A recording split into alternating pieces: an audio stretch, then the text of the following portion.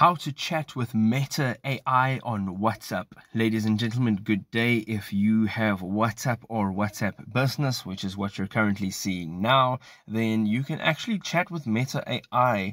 And um, this is still in the early access phase. So if you are not able to access it just yet, there are a number of reasons why you can't. The first thing would be um, that it is only being released in a number of countries. I'm not sure um, exactly which countries just yet. However, a good way to find out is to follow these steps. So you can see on the WhatsApp business um, interface here, uh, there is a new chat button right at the bottom of the page. It looks like a little uh, letter, a little message icon. You are going to now tap on that. Now, once you tap on that, you can see at the top it says new group, new contact.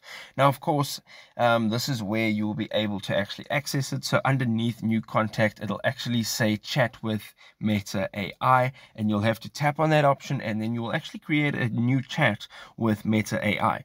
Now, as you can see, it's not available for me in my country. And the only way to go ahead and actually make sure that it is available is going in, making sure that, of course, your WhatsApp is updated to the latest version.